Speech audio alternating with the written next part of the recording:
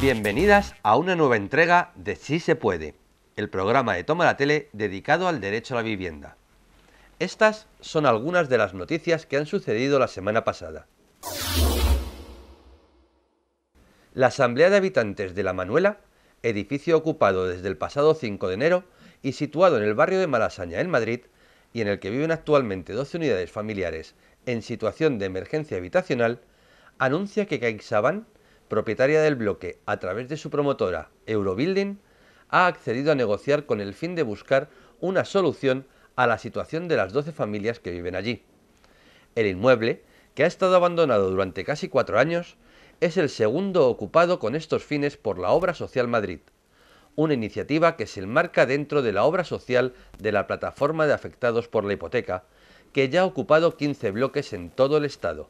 Desde Córdoba nos llega la noticia del comedor social organizado por la Acampada Dignidad que se ha instalado en el Colegio Rey Heredia que se encontraba abandonado.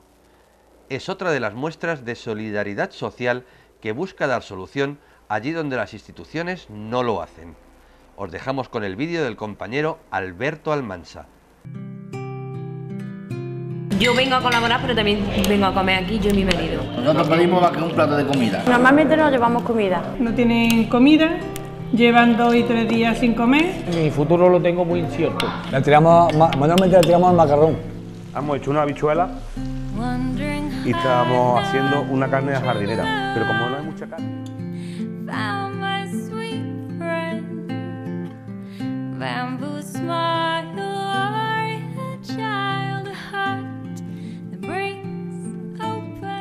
Ella tiene tres niños. ¿Usted viene todos los días a- aquí? Vienen con sus tapes, dice somos seis. Y se le echa la comida en sus tapes, y se le da seis, se le da postre y se le da pan. Ajo, naranja.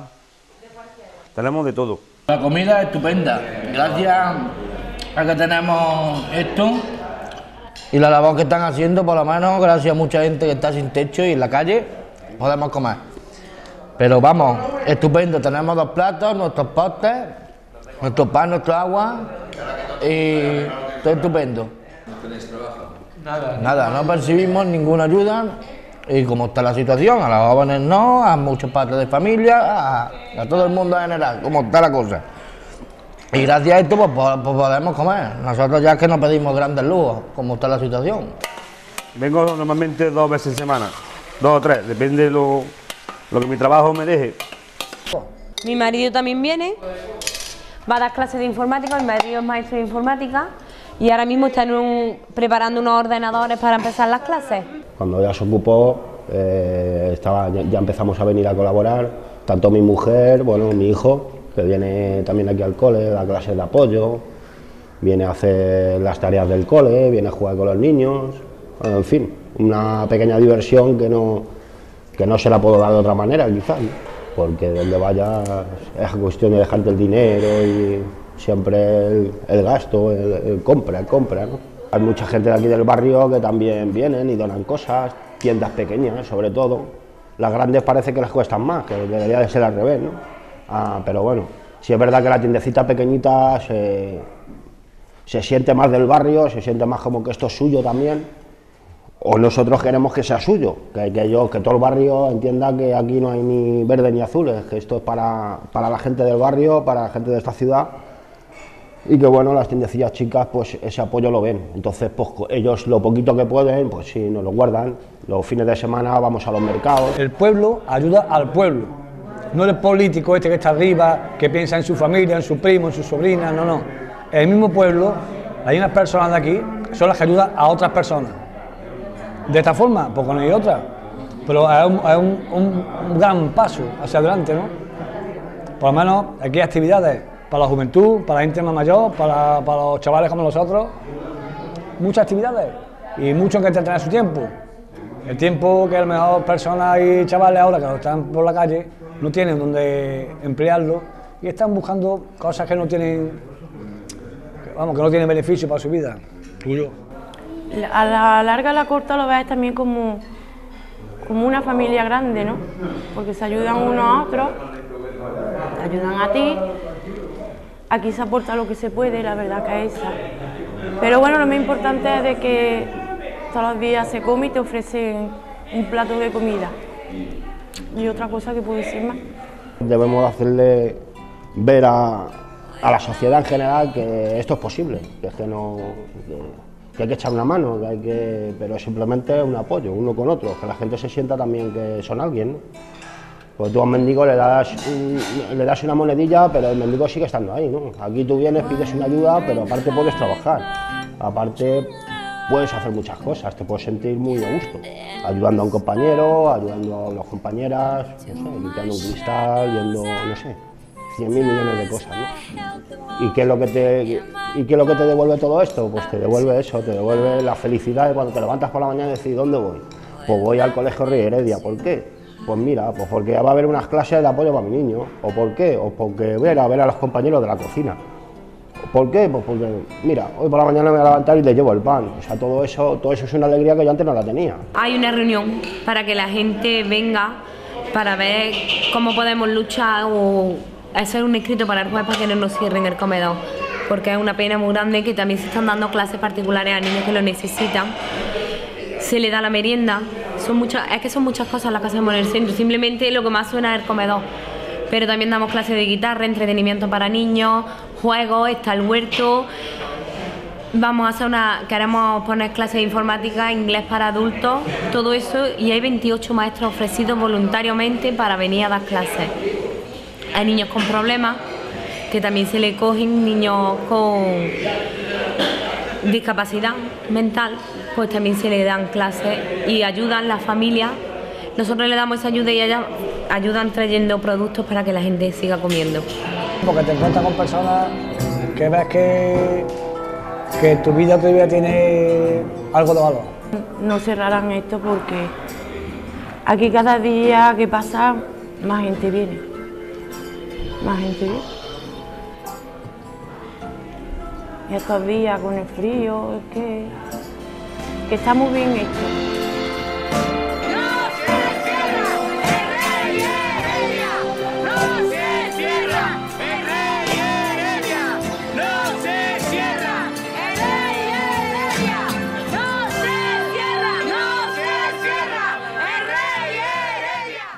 El municipio madrileño de Parla, gobernado por el Partido Socialista, ha aprobado por unanimidad cobrar a partir de este año un 50% más de impuestos sobre bienes inmuebles a las viviendas vacías.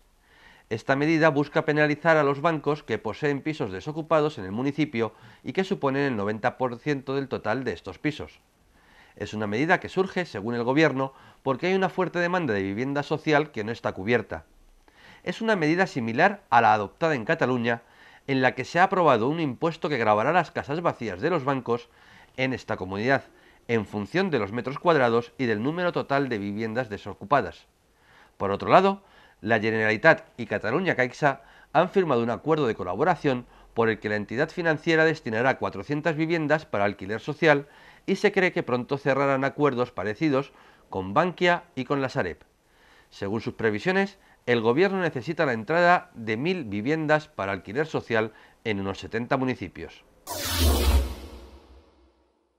La PA organiza el primer taller de formación permanente en Madrid en el Centro Social Seco el próximo día 15 de enero. Se tratarán temas como la Ley 1 de 2013 sobre la moratoria de los desahucios, los recursos de inconstitucionalidad a esa ley, el concepto de cláusula abusiva y sus ejemplos, o los diversos índices que afectan a las hipotecas, como el Euribor, el IRPH o el LIBOR, entre otros. La plataforma Habitantes en Precario, conformada por Stop Desahucios Navalcarnero y la plataforma de afectadas y afectados por la, la venta de vivienda pública, denuncian que la cifra de personas afectadas por posibles desahucios aumenta progresivamente en los pueblos de Navalcarnero, El Álamo, Brunete y otras localidades de alrededor, provocados por dos procesos. Primero, la imposibilidad de afrontar el pago de una hipoteca por parte de personas individuales y familias empobrecidas por la crisis, de las que las entidades financieras y bancos son sus principales causantes. Y segundo, por la venta por parte de la Comunidad de Madrid de las viviendas del IBIMA de muchos pueblos, cuyo derecho obtuvieron familias ya en precario, una venta que se está realizando a la empresa estadounidense Goldman Sachs, acusada de fraude, siendo la principal protagonista de la primera crisis de 2008 y que ocupó un papel esencial en la bancarrota de Grecia. La plataforma de habitantes en precario y Stop Desahucios El Álamo ha convocado una manifestación en Navalcarnero el día 19 de enero a las 12 del mediodía. Podéis leer el manifiesto completo en la, página web de la PA El Álamo. Se ha detenido el desahucio de José Luis y Ana por Cuchubank. El Banco Sabadell ha desahuciado a Paula con cuatro hijos, una de ellos menor y un nieto de cuatro meses, en la calle Burjasot 10 de Madrid. Era el segundo intento de desalojo de la vivienda que ocupaban, propiedad de dicho banco. La familia está integrada y aceptada por la mayoría del vecindario y no tienen ninguna alternativa habitacional. Paula acababa de encontrar trabajo a tiempo parcial y está dispuesta a negociar un alquiler social para poderse quedar en la vivienda. Se ha detenido el desahucio y se ha conseguido la negociación a María Jesús y Antonio, su compañero, que viven en la calle Berrocal 82, en el barrio madrileño de Villaverde Bajo. Son dos personas con discapacidad y el piso está adaptado a sus necesidades. Ambos están en el paro, han solicitado desempleo y pensión a la Comunidad de Madrid por discapacidad. La deuda de la familia asciende a 1.466 euros, por los que la empresa municipal de la vivienda y suelo los quiere echar a la calle. Todo el edificio es propiedad de La Zora. El jueves 16 de enero, a las 12 y media, La Paz de Coslada y San Fernando realizó una acción en la sucursal de Cajaduero en Madrid, situada junto a la parada de metro de Goya. Se buscaba hacer la máxima presión posible para que una compañera la concedieran la dación en pago y el alquiler social. El banco está dispuesto a conceder la dación, pero se muestra escéptico con el alquiler social. Argumenta que la única opción es un posible alquiler en zonas alejadas del actual municipio de la compañera, aunque ni siquiera esta posibilidad es segura. Dubái, país miembro de los Emiratos Árabes Unidos, situado en el Golfo Pérsico, planea tomar medidas en su mercado inmobiliario después de que los precios de las viviendas en el país se disparasen más de un 30% el año pasado. En concreto, las autoridades estudian revisar las operaciones de venta de casas sobre plano. Las autoridades y compañías del país intentan evitar que se repita la burbuja inmobiliaria de 2008, cuyo pinchazo motivó que el precio de la vivienda cayese un 65%. El próximo día 23 de enero tiene lugar el juicio de dos compañeros imputados por pertenecer a La Casica, un centro social ocupado en el municipio madrileño de Móstoles, los cuales fueron imputados a dedo. Tras ganar el proceso judicial por lo penal, ahora se les procesa por lo civil. Se les pide 18.000 euros como caución para poder ir al juicio y defenderse de los supuestos delitos de usufructo del espacio y el deterioro del mismo, con lo cual se han visto obligadas a recaudar dinero para la causa, para lo cual se han encontrado con innumerables apoyos no solo de Madrid. Todo este proceso resulta ser una estratagema promovida por el ayuntamiento sobre el espacio ocupado para su desalojo, en el que se reúne el grupo de vivienda de Móstoles. Por estas razones se convocó una manifestación autorizada para el día 18. El miércoles 8 de enero, la PA del Corredor de Lenares acompañó al Banco Sabadell de Coslada a Pilar y Roberto para pedir una dación en pago. Para ellos, padres de un menor de 14 años, víctimas del paro y de la precariedad laboral, vivir dignamente y pagar la hipoteca son en la actualidad dos términos incompatibles. Desde que en 2006 Roberto perdió su empleo en la construcción, han hecho todo tipo de esfuerzos a costa de malvivir para mantener su casa, hasta que el mes de agosto comenzó a resultarles imposible pagar las letras. Tienen una hipoteca de más de 1.000 euros para unos ingresos de menos de 900, el subsidio de 426 euros de Roberto y los 460 euros que cobra Pilar. Pedimos al Banco Sabadell que, además de adjudicarse su vivienda, no les deje una deuda perpetua. La Paz de Almendralejo ocupa un bloque abandonado para familias sin recursos. En la mañana del lunes 13 de enero, un dispositivo conjunto de la Guardia Civil y el Cuerpo Nacional de Policía, compuesto por medio centenar de agentes, ha desalojado a tres familias en el municipio granadino de Gete. Las familias, compuestas por una veintena de personas, contaban con el apoyo de casi 500 simpatizantes en su lucha, las cuales fueron expulsadas una a una, acabando todo el proceso con la identificación de tres compañeras del grupo de desahucios del 15M Granada. Otra sufrió una crisis de ansiedad y una quinta tuvo que ser atendida por golpes sufridos en la pierna. Los antecedentes se remontan a 1979, cuando las tres familias desahuciadas compraron la estructura de un edificio sin firmar las escrituras al dueño. A la muerte de este, endeudado en gran medida, las viviendas son adquiridas por su hermano, a 70.000 euros cada vivienda. Ahora les reclama 80.000 euros por vivienda. Félix Bustos, uno de los afectados, reconoce que cometieron un error al no firmar las escrituras.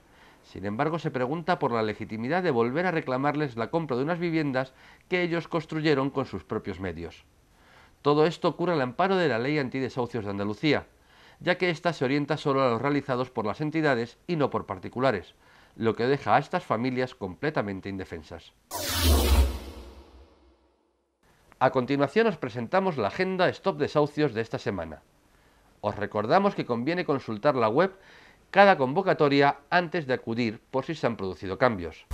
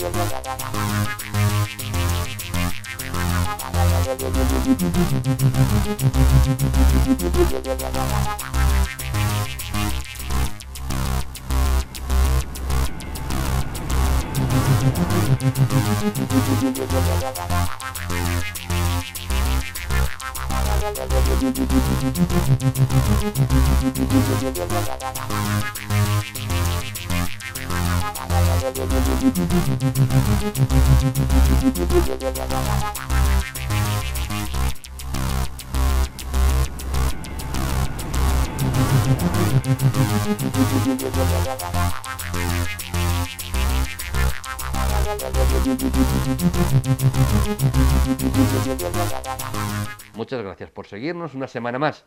Si deseáis contactar con el programa, nuestro correo electrónico sigue siendo si se puede tomalatele.tv. Nos podéis enviar preguntas, sugerencias o críticas sobre el programa. Hasta la semana que viene.